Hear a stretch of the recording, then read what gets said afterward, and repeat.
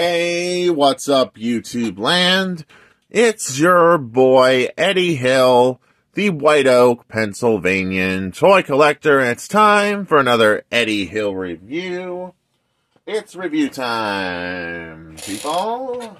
And today we'll be reviewing the Transformers, Dinobots, Snarl, KO Beast Wars knockoff of the Last Knight or Age of Extinction Snarl. This is a knockoff of the Age of Extinction Snarl. So yeah. Sorry, he's a knockoff of the Age of Extinction Snarl, and he looks pretty cool.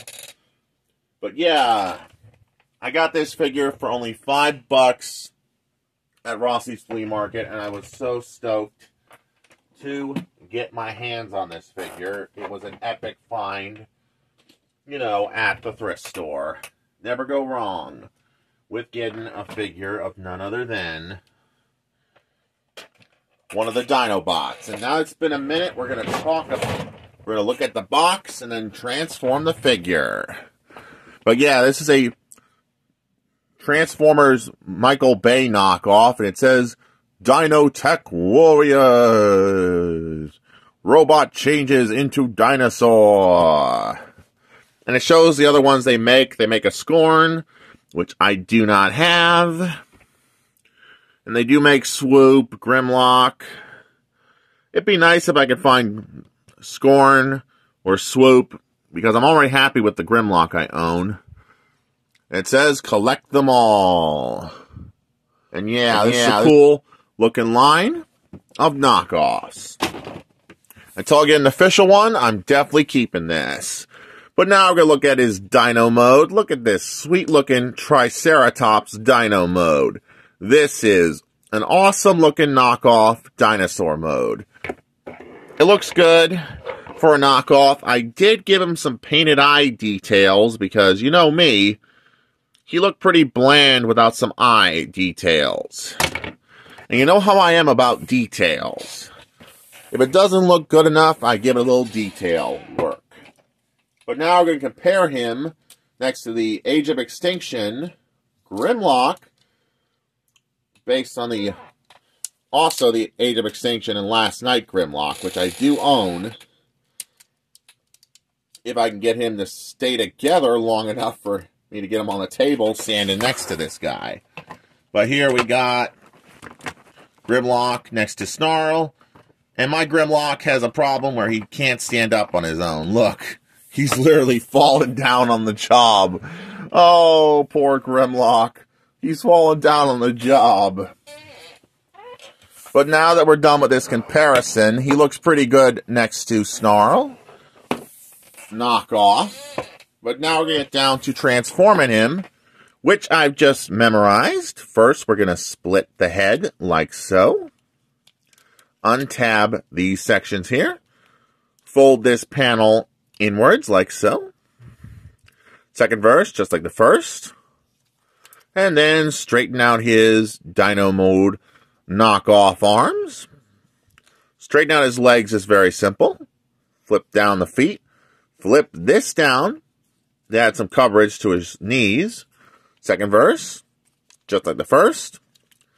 And there we got him nearly transformed. His tail also becomes a weapon, but I'm not a fan of it, but we will show it off as soon as I can get it unpegged without breaking it. Right, I'm going to break this thing the way it's designed. I guess it's supposed to be like a tail mace. But I just don't like it as much. See? It just uh, doesn't look so good. That's why it's probably just going to sit on the back when I put them on the shelf.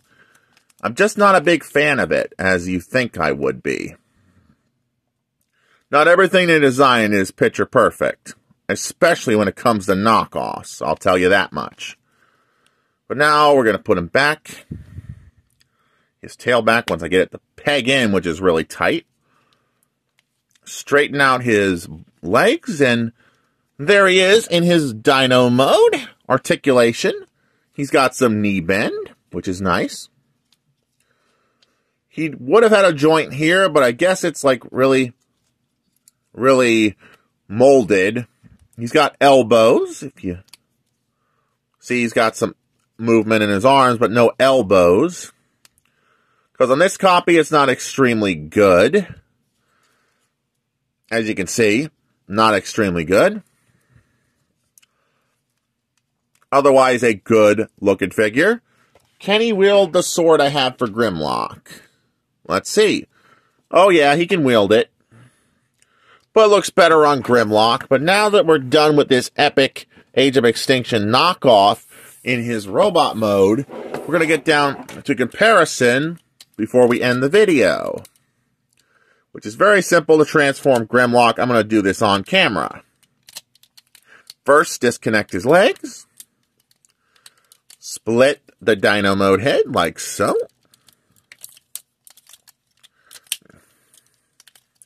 We're going to split the Dino Mode head if I can get it to work without breaking it. And we're halfway there. Rotate his Grimlocky head. Fold down the legs. Make sure you hear a click on those leg joints.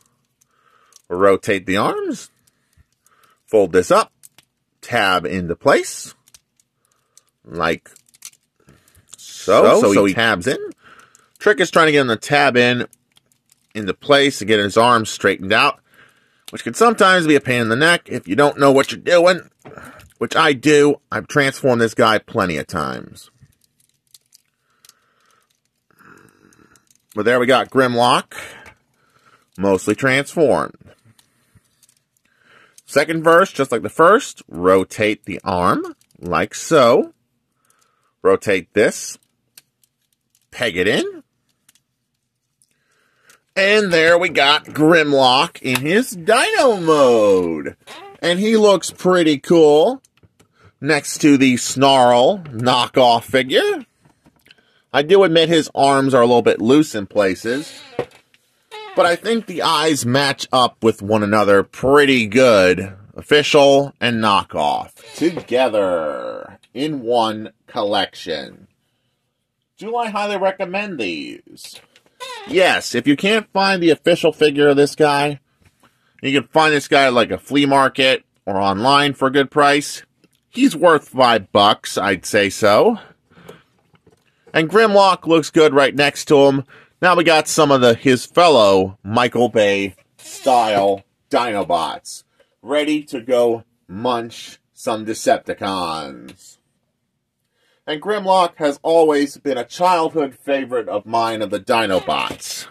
He's mean, he's fierce. You don't want to mess with Grimlock. Even my dog Teddy wouldn't mess with Grimlock, because he'd be Dino Chow.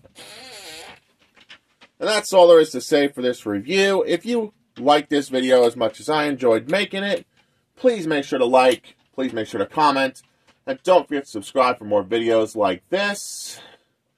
But before we move on, we are going to be going to the new Ross location, opening up here in Pennsylvania, in Monroeville, and it is going to be 2200 square feet. This is the biggest Ross we've had in Pennsylvania. And this video will be done on Saturday. You get to see these epic reviews plus this epic toy reviews of the month. And this is Eddie Hill. Moving on and rock on and rock out. YouTube land.